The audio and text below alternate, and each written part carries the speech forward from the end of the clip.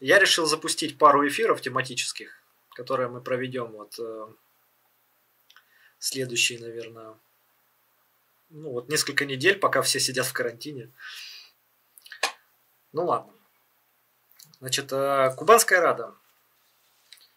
А, прежде чем, наверное, про адыгов говорить в Кубанской Раде и в Кубанской Республике в гражданскую войну, я предлагаю немножко так и в историю назад вернуться и понять вообще, кто эти люди, почему они в эту Раду в будущем попадут, скажем так.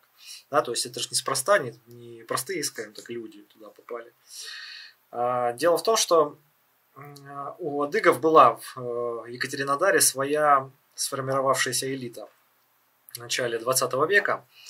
А, это люди творческой профессии, это люди, связанные с общественно-политической деятельностью.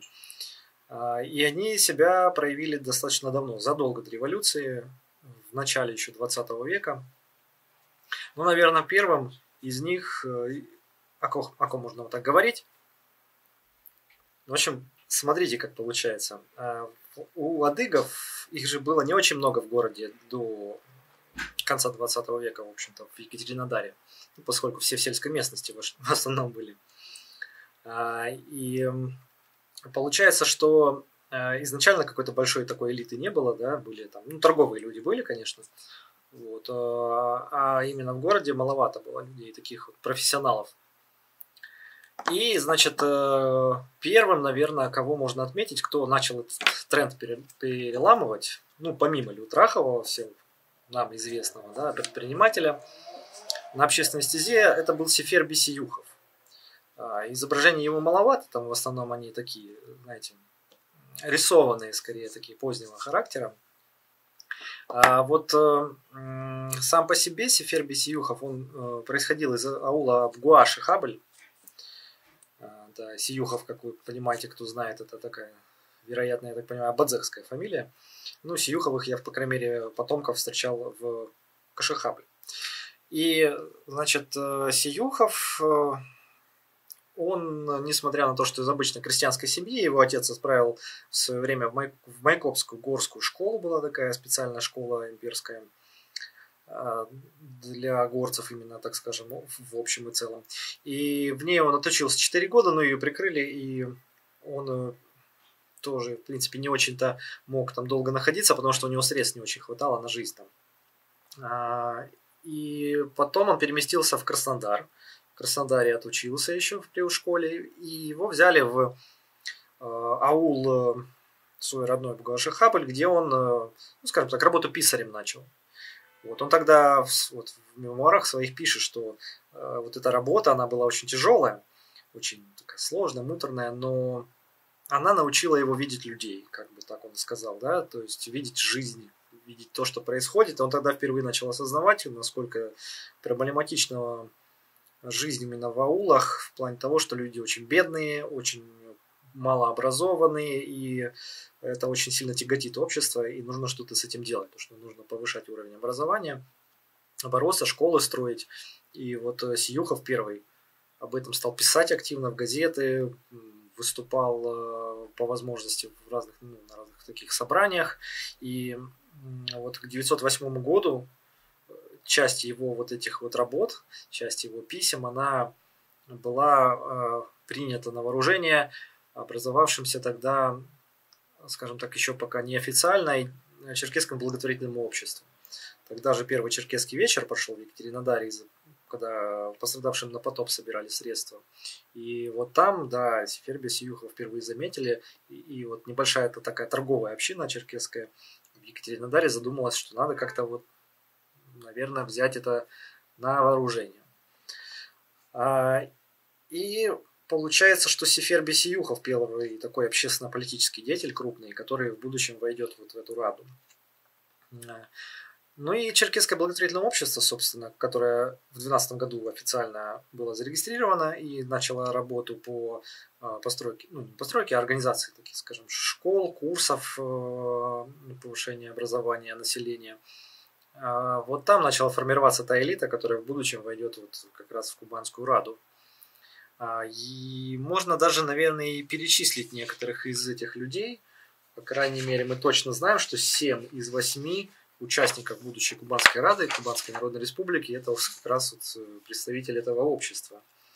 А, мы по ним, в общем-то, по суду, наверное, пройдемся, так будет проще. Ну, я их перечислю сейчас, и мы поговорим чуть подробнее. Значит, это вот точно известно, это был Пашабек Султанов, Шимаха Коцев, Осман Гатагогу и Мурат Гатагогу, Каспалет Улагай, Шахим Султан Гирей, вот, собственно, Сефер Бесиюхов, о которого я упомянул, Кучук Натырбов и Айтек Намиток. А, большинство из них в те или иные годы, они изначально пришли вот в это общество и ту или иную роль в нем сыграли. Да? И вот когда началась революция, кубанская жирада как образовалась? Она изначально э, именно казачество ее оформило. А, то есть там как бы посторонним иногородних особо не брали первое время там. А вот это получается начало 17 года. А к концу 17 года расширили. И в ее состав там была еще Кубанская законодательная рада, ну, то есть э, полноценное правительство, да. И туда уже стали вовлекать также иногородних. И, как это писалось, не из казачества, скажем так, да, и, и народцы тогда это называлось. То есть это горцы, собственно говоря, адыги в основном. Вот 8 человек туда вошло, в эту раду.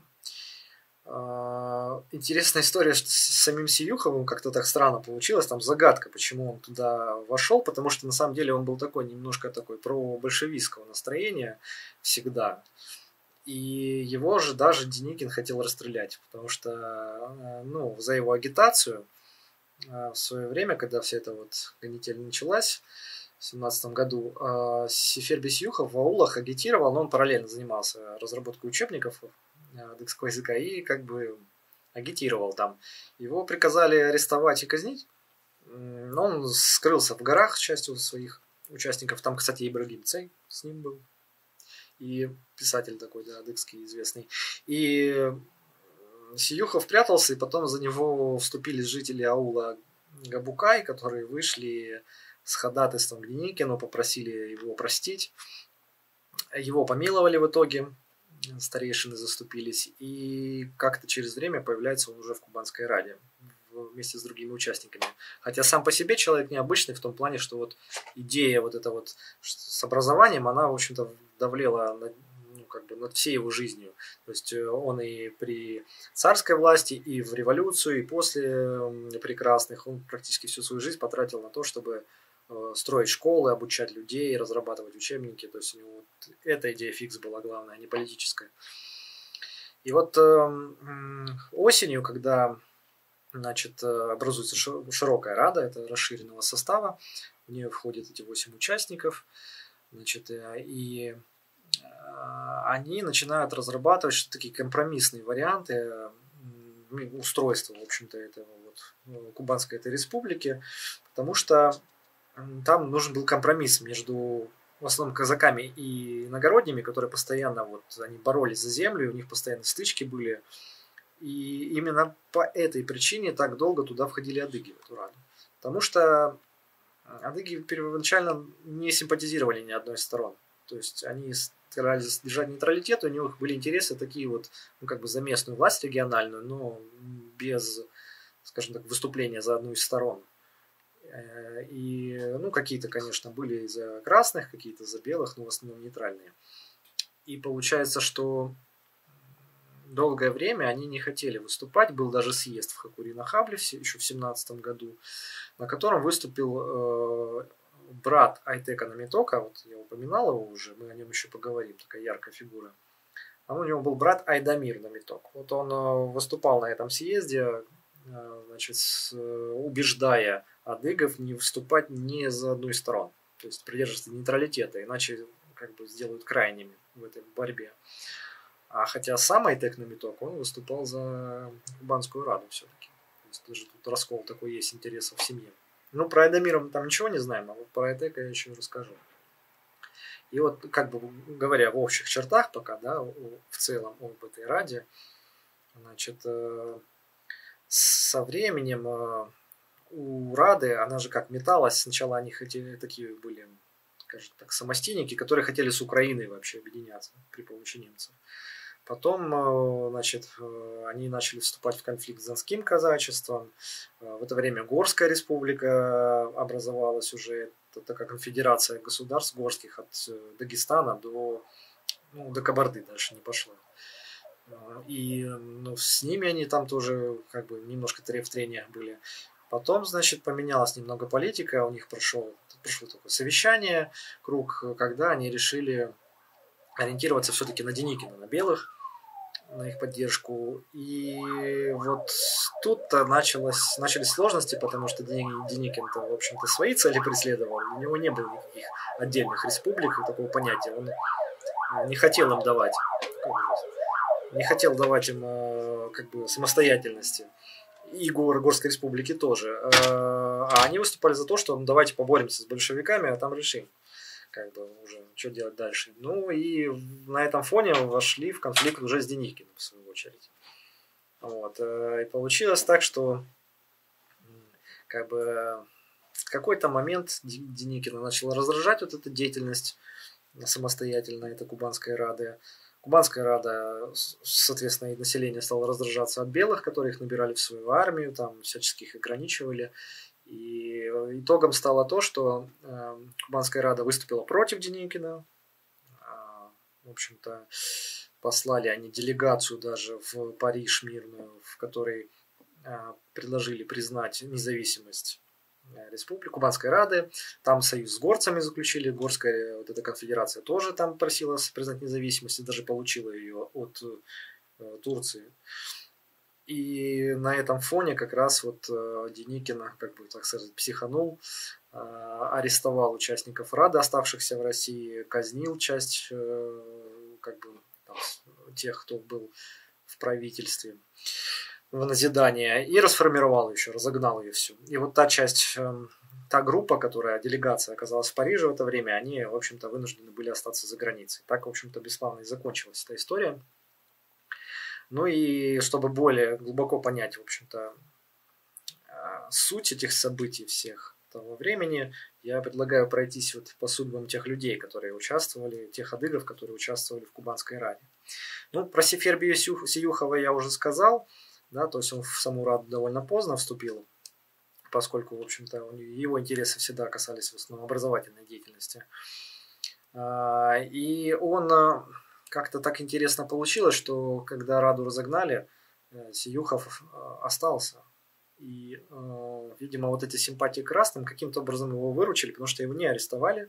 Когда красные вернулись, он э, даже так его приметил Шахан, расскажу как, Хакурата, Шахангирей Хакурата, который создатель автономии адыгейской, был, лоббировал ее в советах уже. И он его к своим замам нанял качестве министра образования. И вот совместно они, в общем-то, работали, совместные наработки использовали для того, чтобы, ну, скажем так, эту автономную область э, продвигать, расширять и модернизировать. Но там такая история странная, что, несмотря на такую дружбу, постепенно Хакурата Сиюхова начал отодвигать. То есть э, он его к 28 году пересылает в Майкоп, ну вот как бы поруководить э, в политехническом университете. Хотя Майкоп тогда еще не был столицей адыгейской автономии. А в 30 году он его пересылает вообще в Абхазию, в Сухум, научным сотрудникам в музей. А там его арестовывают как турецкого шпиона Сиюхова. А, значит, три года он проводит в тюрьмах, потом э, его переводят в статус такого, как бы сказать, не заключенного в лагере, а рабочего заключенного, скажем так. Да? Он э, э, работал на стройках Беломор-канала, потом этого Волгодонского канала, ну, значит, как инженер получается. И пробыл он в этих лагерях до 52 года аж. То есть вот, большую часть второй половины своей жизни. Потом его выпустили, амнистировали, но на самом деле он там не очень долго прожил, Краснодар вернулся и очень, конечно, сокрушался, что его вот таким образом ему жизнь все сломали, хотя он вроде бы на пользу государства все это делал. Вот. И есть такая на этом фоне история, ну, по крайней мере, я ее слышал от а, на побережье, на побережье Мурдинтешев, кажется, он писал книгу а, об некоторых деятелях, скажем так, шапсукской автономии. И он упоминал, что, возможно, вот как раз-таки Хакурата был причастен к этой ссылке, что он его сдал. Вот. Эм, по крайней мере, с Иисусом Негучем такое произошло. Это такой деятель был, вот, который на побережье адыгов пытался объединять, ну так радикально достаточно, и потом был сослан еще в 23 году. Но возвращаясь вот э, к истории Рады, среди ее э, деятелей один из самых высоких, одно из самых высоких мест занимал э, Пашабек Султанов. Я, наверное, сейчас попробую показать его вам. Пашабек Султанов, вот он как э, писали, милый старик, так как-то его описывали, то есть такой добродушный дедушка, то есть ему на момент революции было уже довольно много лет, он был заслуженный судья Екатеринодарский, очень уважаемый человек. И вот Пашабек Султанов в один из периодов Рады занимал должность заместителя и председателя этой Рады. Там такой момент есть, что пять раз менялись главы. Вот когда был Лукабычек председателем, вот этот там период в Раде, вот тогда был он заместителем Пашабек Султанов. Ну, о нем сложно сказать что-то, потому что особо как бы не, он не отметился ярко чем-то. Да, он выступал, документы подписывал, на всех заседаниях был, но мы не можем сказать что-то что такое серьезное о нем. А, как и о его судьбе тоже не очень понятно, как она сложилась. Но есть мнение, что он все-таки успел в эмиграцию уйти. Вот. А вторым вот заместителем был как раз Шахан Султан Гирей. Его изображения, к сожалению, нет. Но вот он как раз таки отметился тем, что всех активно адыгов сманивал на сторону Кубанской Рады. Вот то заседание в Хакури-Нахабле в 17 году, о котором я уже говорил а, вот, выше в связи с Айдамиром Намитоком. Там как раз таки с другой стороны оппонентом выступал Шахан Гирей, который уговаривал адыгов, что надо выступить на стороне белых, на стороне Кубанской Рады, ну тогда еще пока они в отношениях нормальных, когда были, что вот э, это дело такое важное, и э, от, от него будет, в общем-то, всем выгода. Ну, его тогда не очень на самом деле, послушали. Вот. Э, а так, такой несменяемый председатель. О том, Кем он был изначально, не могу сказать, наверное. Таких вот, как ни странно, мы больше знаем о людях средней руки, скажем так, в Кубанской Раде, чем вот о их э, вот, заместителях председателей. А одна из самых ярких фигур это Пшимаха Коцев в том числе. Пшимаха Коцев это кабардинец э, по происхождению с семьи Коцевых такой э, довольно обширной. Сейчас я вам покажу. Вот он. Шимаха Коцев. А, из села Сармакова в Кабарде он. Значит, э, Коцев э, выучился в Санкт-Петербурге на юридическом факультете, там же, где Айтек на Меток, о том мы еще поговорим. Престижное место было, очень престижное, ну, как МГУ сейчас практически, да, юриспруденция. Э, в Шимах Коцев вернулся в Краснодар, ну, скорее всего, по распределению тогда, как юрист. Значит, работал в городе он адвокатом. И когда началась революция, как человек уже уважаемый, с авторитетом, с опытом, он был принят значит, э, в Раду, где, правда, недолго пробыл, потому что значит, э, буквально в первые же годы он совмещать начал свою должность с э, должностью министра МВД в Горской республике, так называемой. Она у нее длинное такое название, Союз горцев э, там, Юго-Востока России, там она переименовывалась несколько раз. И первоначально у них в этом союзе была, да, была вообще идея объединить все казачество, все горские народы, весь Кавказ, вот, начиная от Дона до Астрахани и весь вот все, все Северный Кавказ в один большой союз. Но союз быстро треснул, потому что интересы были у всех очень разные. В основном земля, земля это спор главный. И а, вот образовался только союз такой, именно горцев, так называемый, э, с центром в вот в этот период он совмещал должности. Но когда красные в первый раз в 17, э, в конце 17 начале 18 года начали выступать активно, они захватили же власть в Кубанской области на этот период и перерезали, получается, сообщения вот между Востоком, Кавказа и Запада, то вот этот союз он переместился во Владикавказ. И там у них отдельная уже история их, как они там развивались, как менялись. У них были столкновения с терскими казаками, потом они объединялись с ними. Пшимаха Коцев, в общем-то, связал свою, в общем-то, дальнейшую судьбу с этим союзом. И практически, наверное, ну вот э, с 18 по 20 год э, он сначала занимал пост министра МВД, а потом стал вообще председателем всего Союза. Это на последней уже стадии, когда там все краху неслось.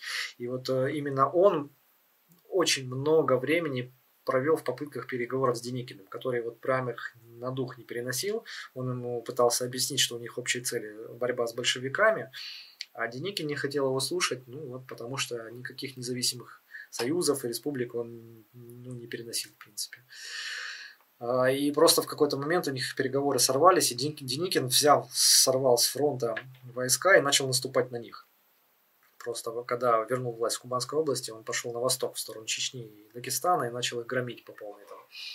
И так в итоге бесславно закончила эта республика, ее выдавили их практически, и Пшимаха вынужден был, ну, до последнего там пытался, в общем, держать это все в порядке, но ничего не получалось, и их выдавили в итоге в Азербайджан, они еще, ну, что-то вроде правительства э, в изгнании у них было, потом в Грузии, в Грузии его арестовали, но потом отпустили, э, думали, что он шпион.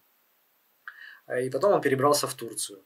А, и в Турции уже первое время он там помогал иммигрантам, особенно из черкесов, очень многим, когда их уже окончательно выдавливали на последних этапах гражданской войны, вот кто в белом движении был. Потом, значит, он а, перешел на такую деятельность, знаете, как журналистскую и адвокатскую. То есть он там продолжал юридическую деятельность, много писал об истории Северного Кавказа, борьбы за независимость, есть его заметки о коммунистов критически там отзывался. И ну, до 53 года он там так и прожил. Там жена у него осталась здесь, он там вынужден был э, выйти замуж, ой, взять в жены э, одну известную представительницу болгарского рода. Вот. А, Хаджи Мурат, может не перебеспокоиться, что опоздал, потому что я это все записываю, и вы, кто не успел, во-первых, сможет посмотреть прямой эфир здесь в сторис в течение суток, а потом я его выложу еще в YouTube, так что можете спокойно там посмотреть потом на повторе. А, значит, это Пшимаха Коцев из кабардинцев. Кстати, у нас же из кабардинцев в Екатеринодаре был еще известный Батарбек Шарданов, но он не вошел в Кубанскую Раду, да, он был одним из участников черкесских благотворительных вечеров, э, черкесского благотворительного общества, зампредседателя, потом председатель после смерти Трахова. Он был довольно обеспеченный железнодорожник, кабардинец, дом Коваленко, вот где галерея, как раз его. Но он вот как-то не пошел в Раду. Интересный момент есть, тоже такой малоизвестный, что вот э, он же свой дом в 1900 шестом году сдал, э, или седьмом, седьмом, седьмом да, году сдал э, в аренду мэрии, которая там вот галерею Коваленко держала как раз таки картинную. А в двадцатом году, по-моему, или в девятнадцатом, или в двадцатом, он э, был в Екатеринодаре и хотел выгнать Коваленко и галерею из дома своего и передать дом под штаб Деникина. Но вот, видимо, что-то пока переговоры шли, не успел, начали наступать красные, и идея это не свершилась. И Шарданов, как известно, он э, эмигрировал все-таки. Он в Лондоне в 20 году, 20, в 20 да, году в Лондоне был замечен на свадьбе, на свадьбе Елены Бабич. Это дочка последнего наказного атамана Кубанской области, который, которого большевики убили в Пятигорске. Но возвращаясь, в общем-то, к нашим э, адыгам, именно в Кубанской Раде, еще одна яркая фигура, о которой ну, нельзя не сказать, Айтек Намиток, он уже у нас прозвучал несколько раз. Айтек Намиток, в общем-то, известен как этнограф во многом. Благодаря, скорее, э, своему труду. Э, труд этот называется сейчас, происхождение, происхождение черкесов. Да. А, труд этот он написал во Франции, на французском языке, и э, его перевели в 1932 году, а в 1932 году, подождите, он э, издал его, в 90-х годах его тут перевели на турецкий, только недавно он у нас появился. Но это поздняя эпоха, скажем так. А Айтек Намиток изначально такая очень такая необычная фигура, знаете. А, он происходил из аула Панижукай, и довольно в раннем возрасте его отправили учиться а, в Петербург на тот же самый юридический факультет, где и. И тут странная штука такая. А, он там учится, ну, молодой, да, парень, скажем так. И как, как раз вот застает во время учебы вот эти волнения, волнения, и начинается революция в 17 году. И почему-то его, в 25-летнего молодого парня, а, подтягивают, скажем так, провести переговоры с дикой дивизией. А, дело в том, что тогда Корнилов свой мятеж устроил, пытался захватить власть, да, временно правительство. И как раз-таки он пытался втянуть дикую дивизию в свои полки, вот в, это, вот в эту свою авантюру, так сказать. И это Экономинтока послали переговаривать, убеждать э, дикую дивизию не выступать за Корнилова. А ему как бы 25 лет юрист. Почему? Да, вот казалось бы. И да, ему удается убедить, но там не один, конечно, был, там еще были представители, но сам факт, что э, он убеждает дикую дивизию. Потом оттуда вместе с остальными возвращается ну, с белыми в Екатеринодар, где занимает в Кубанской Раде достаточно серьезный пост. То есть э, он становится одним из министров, точнее министром юстиции э, в Кубанской республике. Э, на что, в общем-то, из-за чего возникла такая версия, она такая немножечко легендарная, но чем черт не шутит, да, слухи, что Айтек Намитока, в общем-то, был разведчиком. Причем не простым, а двойным, еще англо-французским. Потому что дальше его судьба тоже интересно складывается. То есть, будучи министром юстиции в Кубанской Раде, а, а он многих тоже туда втянул, потому что он в свое время, еще до революции, за последний год, в 16 году, успел поучаствовать тоже в черкесских вот этих благотворительных вечерах, э, точнее, в черкесском благотворительном э, обществе активную роль сыграл свою. Его там знали, уважали.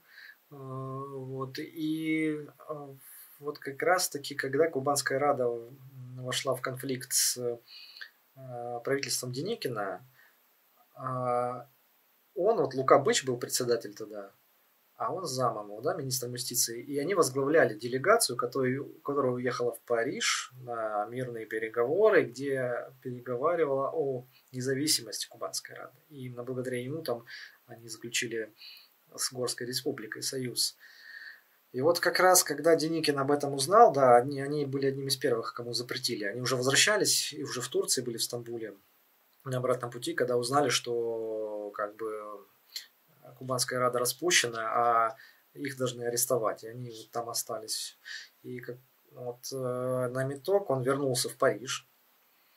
А, первые годы известно, что он с эмиграцией активные дела имел, пытался там бы, организационные вопросы решать. Иммиграция что тогда еще была такая общая, казачья, черкесская, такая неразделенная, кавказская. Ну, потом быстро она по разным вопросам разошлась. А, и Айтек на меток, посмотрев на все эти вопросы, ну, политические, да, что не получается э, договориться в эмиграции о каком-то согласии, в общем, что все друг с другом ругаются, он окончательно перебрался в Париж и в Сорбоне стал учиться, получил в итоге профессорскую должность в Сорбонне, доучился до профессора филологии, стал преподавать французский язык. И вот э, там он остался, в Турцию стал приезжать постепенно, там э, у него был комитет помощи горцев, который объединял их в Турции, вот эту диаспору. Он очень подробно изучал диаспору, почему и книга возникла, это как бы корни, там общие исторические генетические черкесов искал он. А, потом, когда в Германии возникли, возник э, мусульманский комитет уже во времена Рейха, скажем так, первые годы, он помогал мусульманам именно там. Ну, известно, что вытаскивал из тюрьмы многих там при, во время Гитлера. Э, вот. Э, и в 30-х он перебрался окончательно в Турцию. Вот там профессором именно французского языка и продолжил быть. Так отсюда мы его уже и знаем как этнографа. Вот. Про то, что случилось с его братом, сложно сказать, Айдамира Намитока. Я вот, честно, искал, искал, но нигде не нашел информации. А, был еще один, значит, представитель такой уже возрасте, довольно такой известный в Екатеринодаре, это Каспалет Улагай. Вот, кстати, на этой фотографии мы его можете увидеть. Статный мужчина, как видите. Каспалет Улагай это такая история. Улагай же это род военнослужащих, скажем так. У них все практически улагаи, они все в основном служилые люди из Натухайского горского полуэскадрона, как правило. А тут вот как бы исключение получилось. Каспалет, он пошел по гражданской линии. Еще в конце 20 века обучился в, на чиновника по земельным и лесничим делам, как лесный ревизор. И постепенно, постепенно строил свою карьеру в Краснодаре, в Екатеринодаре точнее. А, к 1894 году ему удалось познакомиться с князем Михаилом Романовым. Ну, за счет лесничьих дел своих Романов приезжал а, в заповедник будущий, тогда еще его не было, охотиться на лосей, иногда на зубров, в, где вот сейчас биосферный заповедник. А, и он там был проводником на охоте князя. С князем они хорошо подружились, потом князь э, отдавал, ну, скажем так, в его ведение контроля управления своими владениями в Вардане. И постепенно так вот к 1905 году Каспалет Улагай дорос до должности, ну, так скажем, второго лица э, в Кубанской области по части лесничества, вопросов лесничества и земли. Вот. А, его дом на Рашпилевской 10 находится по сей день. Там его часто путают с Сергеем Улагаем, но это разные истории, они однофамильцы. А, Каспалет а, к революции был уже достаточно такой обеспеченный чиновник, богатый. И его вы избрали в Кубанскую Раду, в том числе с точки зрения организационной. То есть э, он обеспечивал продовольствием город, гражданскую войну, что немаловажно было. Он вот это разграничивал земельные вопросы, по, по поводу которых постоянные трения происходили у казаков и иногородних. В общем, активную роль такую вел достаточно. Вот э, в Кубанской Раде известно, что до последнего он там был. Но вот точно как он мигрировал, не очень понятно. Когда их распустили, там же известно, что часть насильно выслали еще раньше Деникиным в Турцию чиновников. Возможно, он в этой, в этой вот группе был. А, точно мы знаем о, его сыне Кучуке Лагае, который пошел как раз таки по военной стезе опять. А, Кучук Улагай а, к моменту революции уже имел ордена за участие в Первой мировой, в, в этой в, Первая мировая, и русско-японского он еще успел захватить. И, значит, э, когда началась вот эта война, а, он в дикой дивизии служил. И а, именно из-за того, что он там служил, как бы получается, что с основными войсками он все боевые фронты прошел. Когда началось выступление белых, у него случился конфликт с сестрой, известно, Фатимой Лагай, потому что Фатима вышла замуж за его сослуживца из православных, из казаков. И на этом фоне у них случился конфликт, и вот как раз они, когда эмигрировали, через Стамбул уплывали, они там разделились. Фатима со своим супругом ну, бежали в Эквадор, аж, а Кучук Лагай, он э, эмигрировал э, со всеми вот белогвардейцами, с этой группой в, на Балканы. Долгое время они там бездельничали, в общем-то, делать им особо нечего было, как бы. А потом появилась возможность такая, значит, э, Ахмед Зок, албанский король, которого коммунисты до этого свергли, решил как бы, восстановить свою власть и нанял этот батальон, в том числе в котором был и Кучук Лагай, и они, как люди достаточно опытные в военных действиях, достаточно быстро разбили вот эту неорганизованную албанскую армию и вернули Ахмеду Зогу власть. Так он стал королем, а вот э, черкесы и казаки из того э, батальона, скажем так, в том числе Кучукулагая, они заняли очень хорошие посты в албанском королевстве и до, вплоть до Второй мировой войны там себя неплохо чувствовали. И уже потом Кучук Улагай перебрался в Италию, оттуда эмигрировал после уже Второй мировой войны в конце 45 году тоже в Эквадор, и там уже семья воссоединилась. Причем самое интересное, что в Эквадоре он был атаманом казачьей деревни. А, почему так? Потому что в дикой дивизии, ну, скажем так, вообще, в принципе, в дивизионах того времени часто бывало, что черкесы вели казаков, как черкесские офицеры, и наоборот было. То есть там именно а, боевые качества ценились очень. И авторитет строился именно на этом. Часть белочеркесов переселилась в Стамбул, кемалисты их не ловили. Нет, по, на тот момент еще пока нет. Они а, довольно краткосрочно там были, они дождались разрешения на топирование и ушли в основном, ну, кто во Францию, а кто в эту, вот, на Балканы. Вот э, с Каспалетом, да, улагаем такая история была. А из служилых еще был Кучук Натырбов, а, скажем так, ну, может быть, вы помните, недавно у меня был пост про одного из потомков Натырбова, а, который служил а, в ЦРУ и в 80-е годы под прикрытием у нас здесь работал и потом поехал вот в Адыгею, нашел село Натырбово и там свой дом. А вот это как раз потомок этого Кучука Натырбова. А, Натырбовы, да, это село такое под Майкопом, и там, аул точнее, или селение, сейчас вот не помню, Натырбово. И э, там и родился Кучук Натырбов в 1879 году. Оттуда он, ну, практически сразу как вот э, призыв был, а, значит, он, как и все вот, семьи служил и ушел на службу, отвоевал на русско-японской, воевал в Первой мировой.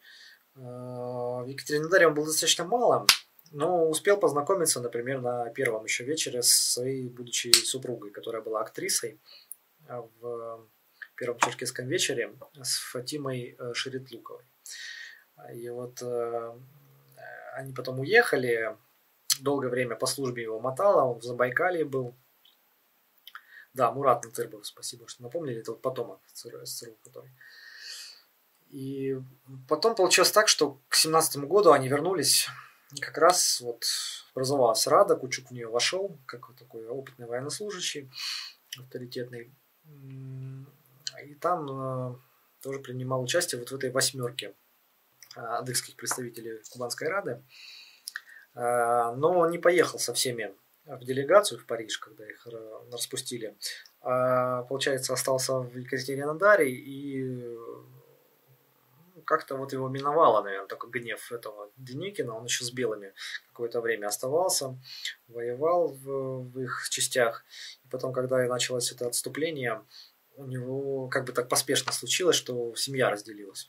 То есть Натырбова с военнослужащими отправили на остров Лемнос, а семья Фатима с четырьмя сыновьями, с сестрами, там, женщины в основном и дети, они отдельно в Стамбул попали. Вот. И как раз-таки эта семья воссоединилась только в Америке. То есть Фатиму заметили в Стамбуле, она продолжала там вечера проводить баллы, несмотря на то, что, мягко говоря, и голодали, и много чего было неприятно. Э, заметил их там в Бристоле, этот э, американский посол, и как бы, пригласил в Америку, они уехали в Нью-Джерси, образовались, там потихонечку, там она швеей работала, подрабатывала, деньги зарабатывала. А потом Натырбов туда тоже Кучук перебрался. Но он, он в 25 году умер. Семья большая осталась. И Натырбовы вообще стали, скажем так, первооснователями черкесской общины США. Вот современный черкесский центр США в Нью-Джерси, самый крупный, он именно ими основан, в основном Фатимой, которая его тянула со всеми. Но тогда он еще был как бы общекавказский такой большой грузины были и сейчас Северный Кавказ. Вот. Э, и получается, что как бы разбросала значит, кто куда, э, вот всех, э, всех представителей. Вот, кстати, я вам не показывал еще Айтек Наметок. Забыл. Видно его там. Вот Айтек Наметок уже такой, это уже 30-е годы. Довольно такой интеллигентный мужчина, И он же писал тогда, у него есть запись есть, что я бы говорит, ни за что не променял тихие улочки своего Понижукая на шумные, как, шумные авеню Парижа. есть, действительно, у них у всех была такая, такая как бы, скорбь, наверное, постоянная, вот это вот, что они вынуждены были покинуть свою родину.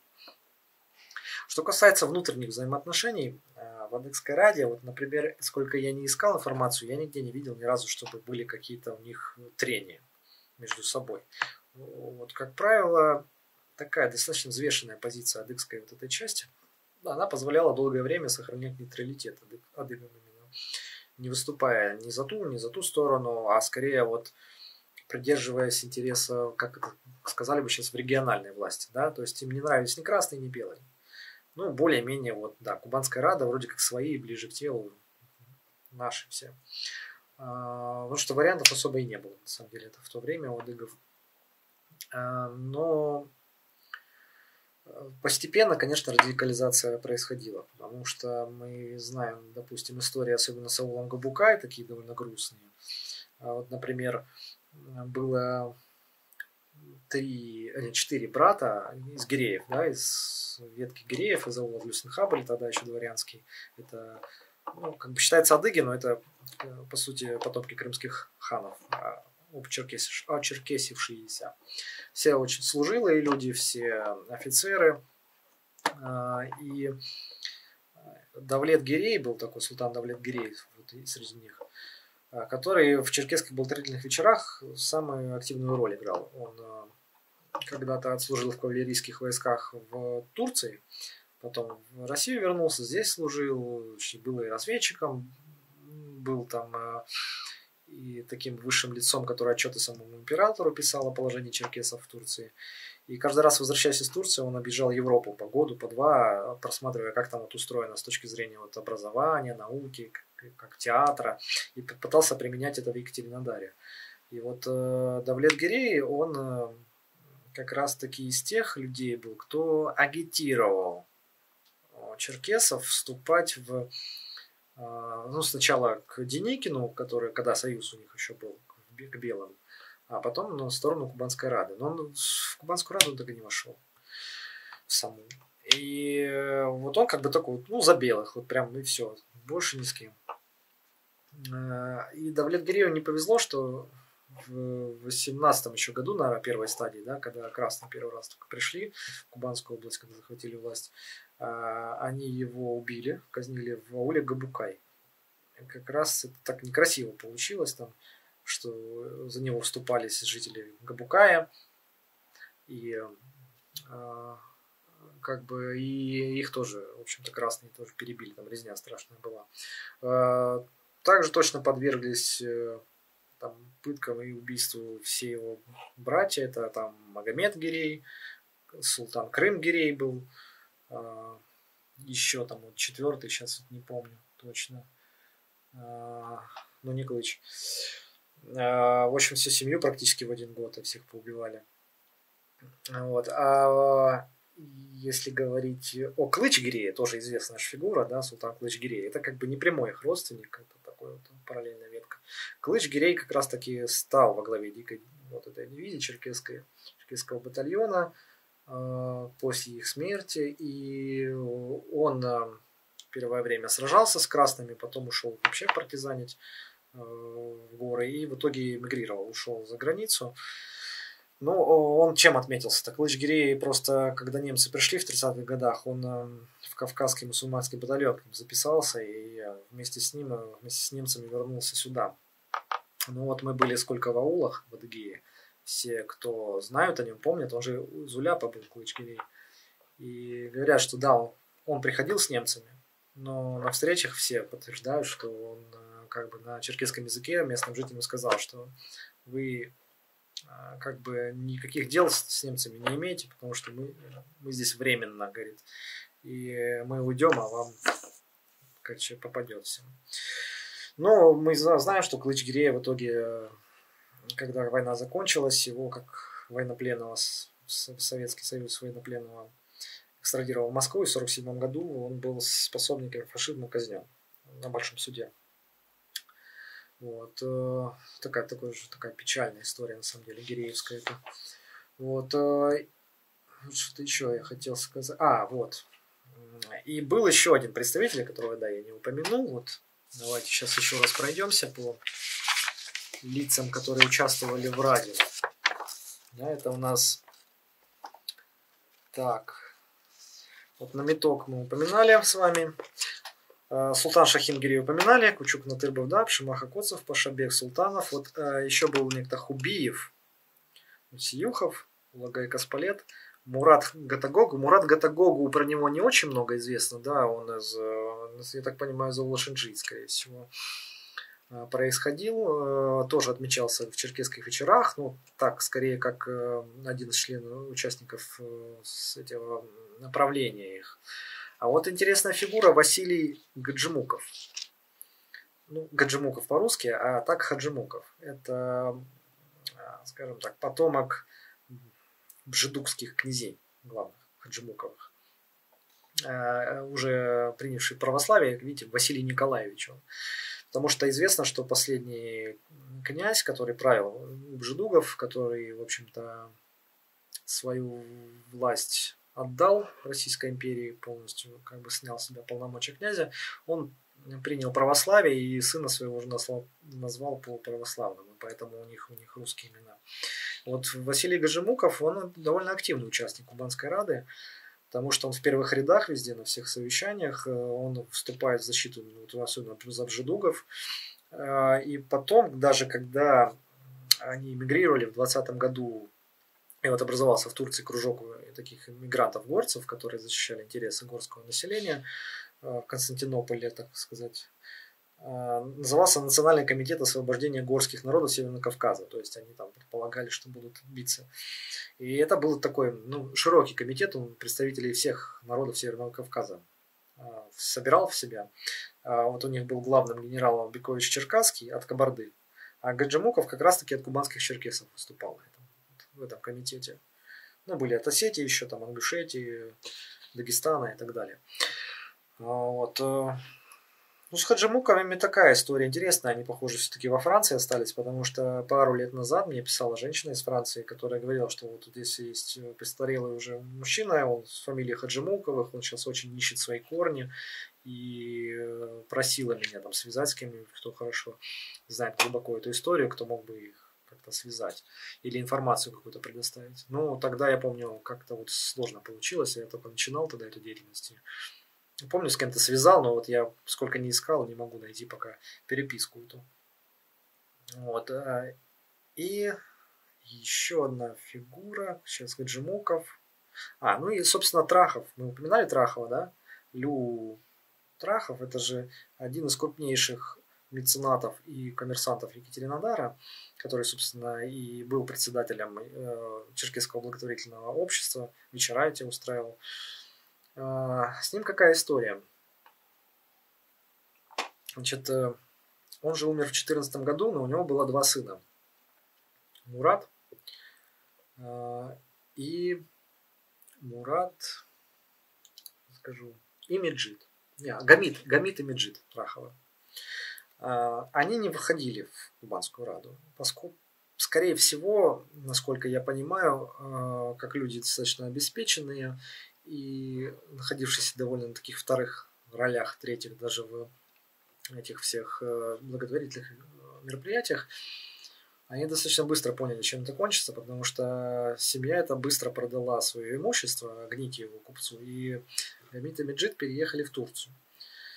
А, но там, конечно, все это прерывается, вся эта история, но при этом э, какие, какие-то наработки свои они все-таки оставили здесь, потому что тот же Сиюхов их использовал.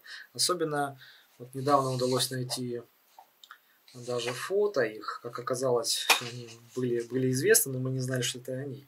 Да, допустим, на этом фотографии у нас как раз Гамит Трахов. Один из сыновей, вот он, второй. А, один из сыновей Лютрахова, это вот на Черкесском благотворительном вечере 2014 года фотография была сделана, он был актером, участником всего этого мероприятия. Вот, кстати, еще фото тоже. Это Даулет Герей, известный, который погиб, которого Букая убили. А, так вот, если сыновья Трахова и ушли, то их-то подворье большое это осталось. Оно с ним такая штука интересная. У, настолько был мощным меценатом Лютрахов, что подворье его на мира 30, по-моему, 6. Сейчас точно не вспомню. Ну, недалеко от Суворова, улицы Мира. Оно стало неким таким центром э, адыгской культуры и жизни вообще в Кубанской области. Туда съезжались на хасы, проводили всеобщие кубанские, там э, на праздники религиозные собирались люди. Ну, вообще по любым вопросам приезжали туда. Сначала как вот знали, что там вот если что-то нужно, черкес, он туда приедет и там получит то, что ему нужно. А, плюс э, Трахов же держал э, за свой собственный счет большой фонд медицинский. То есть э, любой житель аула мог приехать, воспользоваться медицинскими услугами в Екатеринодаре. Все это оплачивалось за счет вот этого фонда Трахова. И поскольку вот оно такое ключевое значение имело для адыгов, это подворье, то когда случилась революция, и после уже, да, когда красные уже окончательно пришли в город, вот комитет этого Шахангирея Хакурата, адыгейская был с полком, он хотел там свой центр сделать. То есть адыгейская автономия хотела себе взять в качестве центра а, вот это подворье Траховское. Но там уже красноармейцы засели, и даже через Москву они пытались этот вопрос решить, но ничего у них не получилось. А, в итоге здание центрально красное гимназическое стало центром а, таким вот адыгейской автономии. А Траховское подворье просто вот стало жилым домом таким многоквартирным, коммуналкой. И одним из э, трах, как бы помощников Трахова, короче, управляющий его, да, который за владениями следил, был э, Едыдж Гатагогу. Это вот э, как раз таки один из таких активных участников благотворительных черкесских вечеров. И он же входил также в Кубанскую Раду. Но про него известно, что он был еще и человеком религиозным, то есть он э, в плане каком духовным лицом. Э, в Ауле Шинджи он э, не только агитацией занимался, но и он там как бы сказать, служил как духовное лицо, как имам, проповедовал. Но в 18 году тоже погиб. Это известный факт. Видимо, вот как раз вот такие когда сражения были там основные между белыми и красными. Так что да, и у него не удалось ему спастись. Таким образом, получается, из восьми фигур э, у нас кто? Только Сефер Бесиюхов остался прекрасных. Э, про вот, Пашабека Султанов, это раз, мы ничего не знаем. Про судьбу Шимаха Котцева, ну, мы можем под вопрос поставить ее. Ладно, допустим. Э, вот Мурат Гатагогу. Сейчас давайте вот по этому даже списку пройдемся. Кто у нас, да? А, Султан Шахингирей мы не знаем, что. Пашалбек Султанов тоже. Хубиев тоже. А, Улагай тоже. Мурат Гутагогу. То есть пять человек вообще мы ничего не знаем. А, Сиюхов остался прекрасных, но был потом все-таки репрессирован. Султан Шахингирей тоже. И Кучук Татырбов, Шимаха Коцев, Гаджимуков и Намиток. Четыре человека, кто успели спастись, скажем так, и продолжили свою жизнь, карьеру за рубежом. Вот э, таким образом их, конечно, жизнь раскидала. А, что еще можно добавить к этому всему? Что касается, в общем-то, народа вообще, отношения народа, ну, народ поддерживал, наверное, все-таки какое-то время эту кубанскую раду, но недолго, потому что, ну, знаете, как история. Сначала никого не поддерживали. Потом пришли красные, люди как-то вот потерпели от них сильно, стали выступать за белых. Потом пришли белые, люди опять потерпели очень сильно от них, да, начинаются вот эти реквизиции э, пищи, имущества, там э, принудительные, э, забор в армию мужчин. И поэтому, естественно, были на этом фоне стычки с белыми стали, против белых выступать. Потом за Кубанскую Раду. А Кубанская Рада в итоге всех разочаровала, потому что у них вот позиция была, они как бы каждый сам за себя. То есть у них слишком разные интересы там были, и каждый раз они занимали выжидательную позицию. То есть, а, а вот посмотрим, кто там из врагов сильнее будет, белые или красные. Там, ага, вот сегодня белые сильнее побеждают, мы с ними. Там раз завтра красные, мы с ними. И вот это метание туда-сюда людей просто очень сильно раздражало. И почему зеленое движение очень развилось, в общем-то, в наших краях. В общем, э, ни к чему хорошему это не привело. Просто население в итоге приняло ту власть, которая оказалась последней. А последние пришли красными. Красные, да, и э, случилось то, что случилось. Плюс или минус это для адыгов тогда был. Э, ну, наверное, можно сказать, что больше и плюс. Потому что, по сути, население именно с красными действительно получило только а, полноценная возможность развития образования, промышленности, науки, как бы благосостояние свое немножко увеличить э, и собственную получить автономию, да, есть, которая сейчас республикой стала. А при, при белых бы этого всего и близко не грозило бы никому. Ни казакам, ни адыгам, никому. А, и можно сказать, что да, в какой-то мере это сыграло на руку. Так, ну у меня эфир сейчас заканчивается, ну точнее не совсем прям заканчивается, а я сейчас вижу осталось 20 секунд, он у меня отключится. Я еще раз зайду, отвечу на ваши вопросы и сделаю пару важных анонсов. Так что не уходите, сейчас э, запущу заново эфир, просто переподключитесь. Итак, там был вопрос от Хаджимурата, я помню один, что вот кемалисты почему белых не трогали тогда, да, черкесов. А, потому что кемалисты чуть позже пришли. Как раз вот эта вот вилка до их, между, когда еще последний султан был э, османский. Поэтому все получилось удачно, и они уже вовремя достаточно ушли. Но это с одной стороны. А с другой стороны, на самом деле очень многие остались, и кемалисты далеко не всех выдавали большевикам. Смачно пью, ну, блин, да. Не могу привыкнуть, что у меня здесь микрофон. Сейчас подключил, вот пробую. Надо кофеек пить, иначе уснешь. Вот. Так что э, получилась такая штука, что многие как раз таки вели такую довольно бурную деятельность из белого движения, в том числе Черкесский этот комитет освобождения Кавказа, тот же Шамах Косов вовсю там полоскал этих коммунистов до 50-х годов, и никто его, в общем-то, не трогал. Поэтому Турция очень лояльно даже при кемалистах относилась к вот этой иммиграции. Понятно, что кто-то, ну, у кого были проблемы, те дальше в Европу ушли, там, в Америку у кого сложно было. Хотя, наверное, скорее всего, был вот этот узкий период, короткий, да, когда они пытались там преследовать. Ну вот в Грузии, когда того же Пшимах Коцева арестовали, он-то полгода в тюрьме просидел в Батуми, но потом грузины извинялись перед ним за это все. То есть они как бы, как они говорили, неправильно поняли немножко его. Вот. А, в принципе, могу еще ответить по вопросам, по судьбам, по людям, которых упомянул. Про Кубанскую Раду, если есть вопросы, можете задавать. Если нет, тогда я сейчас сделаю анонс. Пара даже анонсов.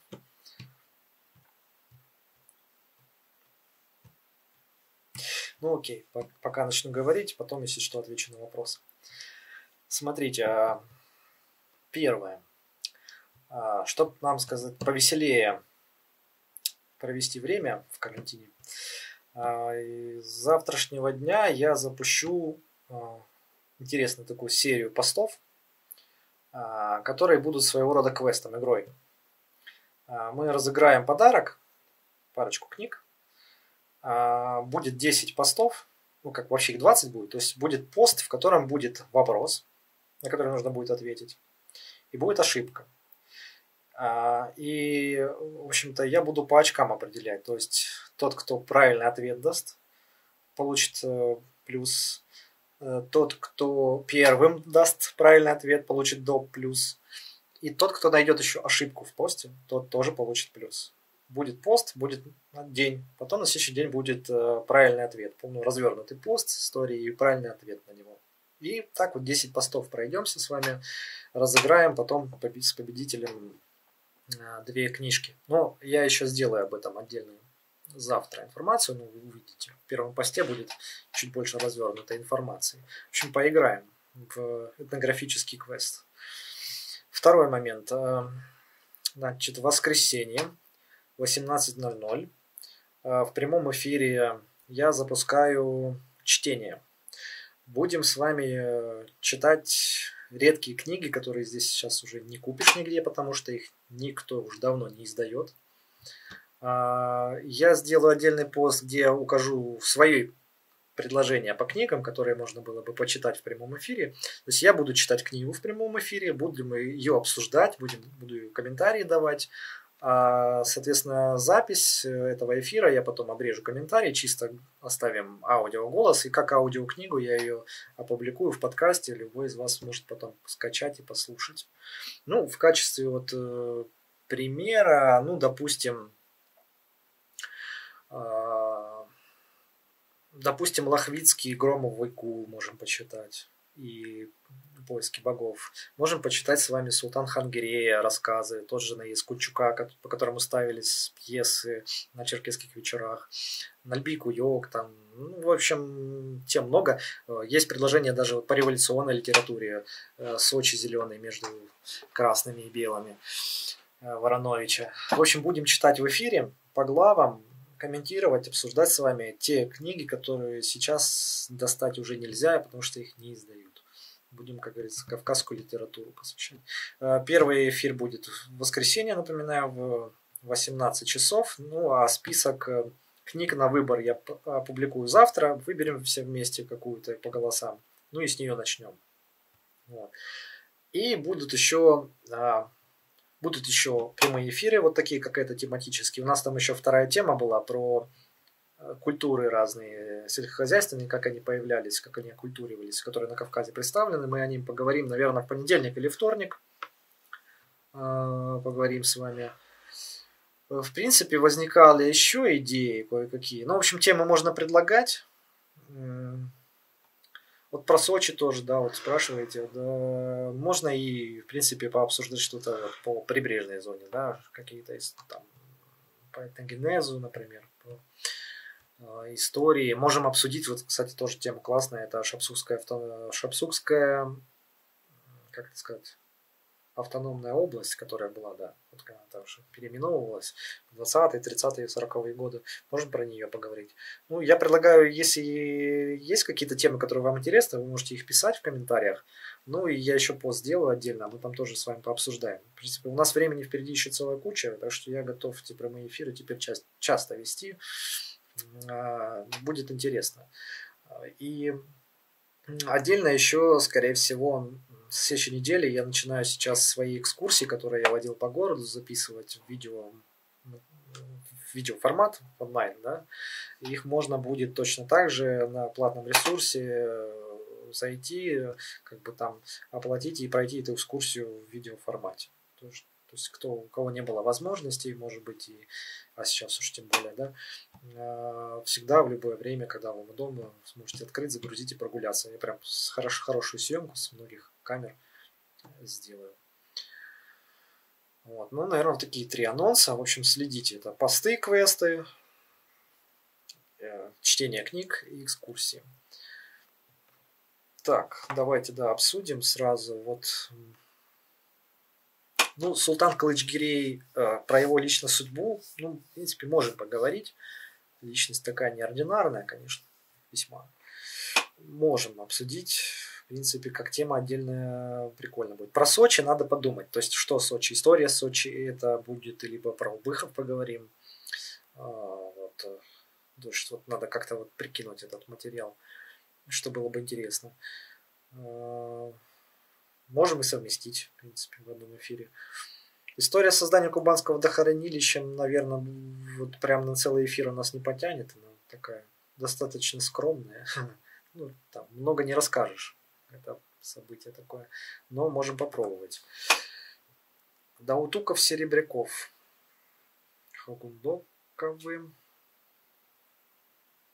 Так, сейчас. Отец и дочь. Так.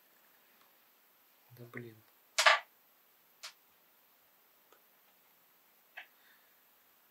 это у меня съехало. А, вот. Вот Шапсукский нацрайона, да, вот я предлагаю его обсудить. Это будет интересно на самом деле. Ну, вот как давайте запланируем. Пусть будет третья тема. Вот поговорим еще про разные сельхозкультуры, как их культуривали в мире, да, и в том числе, как они на Кавказ попали. Ну, такие теории обсудим, поговорим, и вот это будет круто. А потом а, третью, третью тему и Шапсутский нас район сделаем. Ну, можно, в принципе, 2-3 эфира на следующей неделе пустить спокойно вообще. Плычгирей вот у нас есть. А, так, Серебряков, Серебряков. Так, ну давайте я запишу сейчас эти эфиры.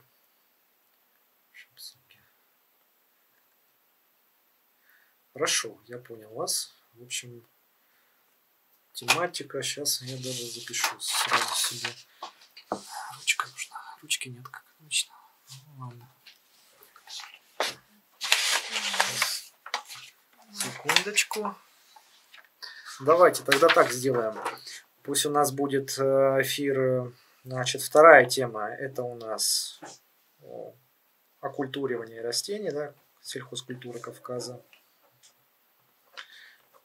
Да, и третья тема это у нас Шапсукский нас район, его история. В принципе, он у нас не очень такой крупный, поэтому мы можем Шапсукский район Дополнительно, как бонусом, там поговорим про строительство водохранилища. Да, я пост обязательно сделаю. Все эфиры будут заранее, у меня посты будут, будет время эфиров. Следите. Сейчас просто много, то есть будет каждый день идти пост, пост э, в виде квеста, да, с задачами. И в том числе и пост будет анонс проходить. Сразу скажу, что первый эфир я сделаю, скорее всего, наверное, во вторник вечером. Да, во вторник вечером в это же время, в 20.00. Потом сделаем в четверг вечером. Ну, там вся неделя у нас выходной, все сидят на карантине, так что что нам еще делать, в конце концов. Вот. Э, Шапсукский район и Сочи, Убыхи. Вот, ну, подумаем, что на эту тему можно сделать. Вот. Э, вот уже у нас четыре темы есть. А, Калыч-Гирей еще, пятый. Калыч-Гирей. А, Серебрякова предлагаю добавить в тему а, Сочи-Убыхи. В принципе, Серебряков так или иначе связан с побережьем. Это его история. Ну, что-нибудь поговорим. А, и еще, как вам тема Черкесагаев? По городу, по Екатеринодару очень интересно. Черкесские армяне, в принципе, как они жили с черкесами, как взаимодействовали, как помогали, как участвовали в том же черкесском благотворительном обществе, вот эти богатые семьи Магарсуковых, там, Тарасовых и так далее. Просто я так вижу по постам, что не все понимают, кто такие черкесы Гаи и что это, что это такое вообще за народ. А, было бы интересно обсудить. А в будущем, может быть, еще расширим и поговорим о греках, у румах, которые вот с черкесами тоже очень много общего имели. И Фрэнк Кардашах это потомки, ну их не сохранилось сейчас, это потомки этих э, черкесов-католиков, которые либо в католичество перешли, либо с итальянцами в семье посмешались еще в средние века. Тогда Черкисагаев тоже ставлю. Вот у нас уже еще пять прямых эфиров. Фактически. Вот сейчас мы обсудили с вами. Вот. В проекте Inside Travel, кому интересно еще чисто городская история Екатеринодара и Кубанской области, такая купечески городская, Э, в проекте Inside Travel тоже будут, будет 10 э, постов э, с, вопросами и ответами, да, вот этот квест пройдет там именно на, ну, на городскую тематику. Туда можете тоже там участвовать, в принципе. И экскурсии Inside Travel тоже в, черки, в, это, в историю купечества предпринимательства Екатеринодара, они тоже будут в видео формате выходить, мы их начнем снимать вот в ближайшее время. Так что онлайн рулит. Как ни крути. Так, ну, по книгам, по подаркам расскажу уже в посте. Ну и, кстати, по книгам тоже а, подумайте, если знаете какие-то книги, которые вам хотелось бы послушать в аудиоформате и обсудить их по главам, прямо по очереди, а, можем а, тоже по ним подумать. Э, можете предлагать свои варианты, но это обязательно должна быть книга, которая не издается сейчас. То есть это то, что ее нельзя купить, чтобы у нас не было проблем с правами авторскими.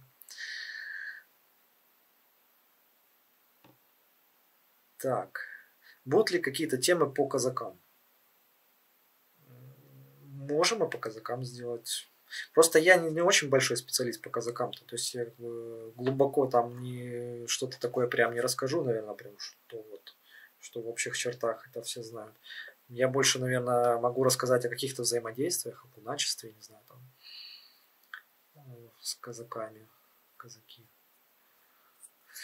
Ну, можно, можно, допустим, историю э, Гречишкина и этого Джамбулата Балатокова, которых, которые тип, типа как бы враги, как сейчас подают, а на самом деле они кунаки были те еще, близкие достаточно. Там история благородная достаточно. Вот. Э, Косагаев присутствует среди сегодняшних черкесов. Присутствуют действительно фенотипы, это я согласен. Особенно тухайцев. Вот. Э, что еще? А, и еще, да, маленький, маленькая, там, маленький анонс. Э, заканчиваю монтаж ролика в Афипсипе про приготовление черкесского сыра адыгейского, как его еще называют сейчас, тоже снимали неделю назад, так что там тоже будет интересно. Вот. А взаимоотношения казаков и черкесов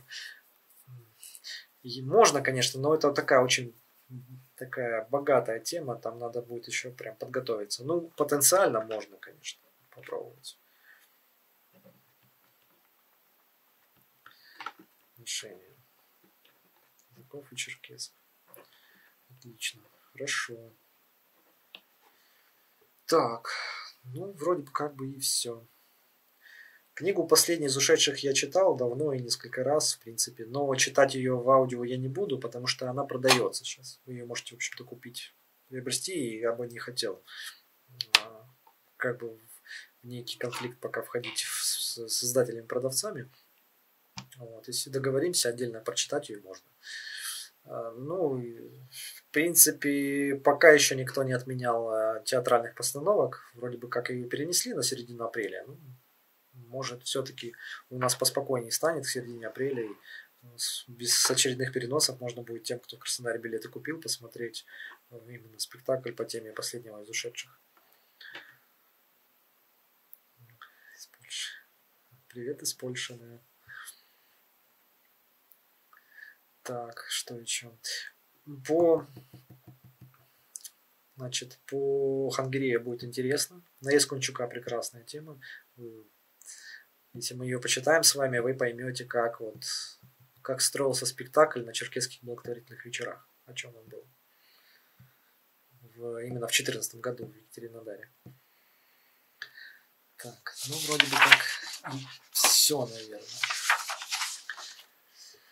В общем, спасибо, наверное, всем, кто был в эфире. Следите внимательно за постами, их сейчас будет очень много в ближайшее время, уже завтрашнего дня. Участвуйте активно, обсуждайте, пишите комментарии.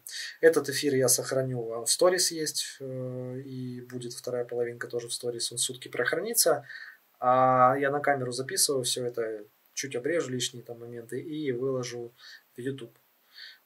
Так что, если кто пропустил чего-то или зашел поздно, а, можете потом в YouTube, я ссылочку дам, зайдете, посмотрите полный эфир. Ну и там можете в комментариях, если кто что-то вспомнит и какая-то идея придет в голову, можете написать, я там отмечу себе. Все, до новых встреч, до нового эфира. Ближайший эфир у нас в воскресенье в 18.00. Читаем книжки. Все, всем пока.